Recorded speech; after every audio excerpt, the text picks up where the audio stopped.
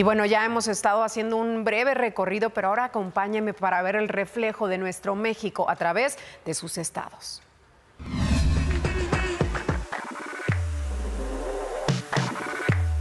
En Michoacán, fue asesinado Javier García Villafaña, párroco de la comunidad de Capacho perteneciente al municipio de Guandacareo. Sujetos armados le dispararon mientras circulaba sobre la carretera Capacho-Jeruco. En Durango, el agresor del arzobispo Faustino Armendaris no sería imputado por el delito de intento de homicidio. Esto debido a que, según las investigaciones, probablemente tenga algún trastorno mental. La fiscalía informó que le están realizando exámenes psiquiátricos. Y en este mismo estado, integrantes de la sección 22 de la Coordinadora Nacional de Trabajadores de la Educación bloquearon los accesos al aeropuerto y la terminal de autobuses. Exigen eliminar la iniciativa para transferir la Dirección General de Educación Indígena, Intercultural y Bilingüe al Instituto Nacional de Pueblos Indígenas.